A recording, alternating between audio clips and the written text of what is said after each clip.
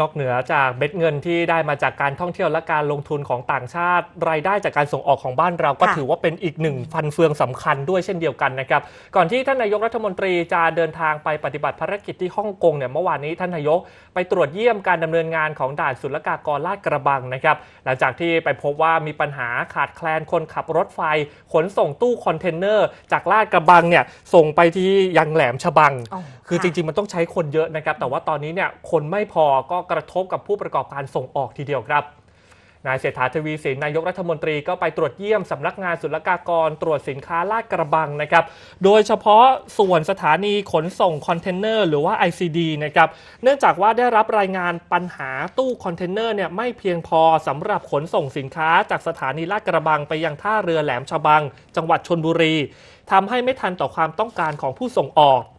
พอท่านนายกลงพื้นที่ไปดูปัญหาด้วยตนเองเนี่ยก็พบว่าปัญหาเนี่ยมันเกิดจากรถไฟเนี่ยไม่สามารถรองรับการขนตู้คอนเทนเนอร์จากลาดกระบังไปยังท่าเรือแหลมฉบัง เนื่องจากว่าคนขับรถไฟเนี่ยไม่เพียงพอนะครับ จากเดิมที่มีเที่ยวไปเที่ยวกลับเนี่ย 12 เที่ยว รวมแล้ว 24 เที่ยว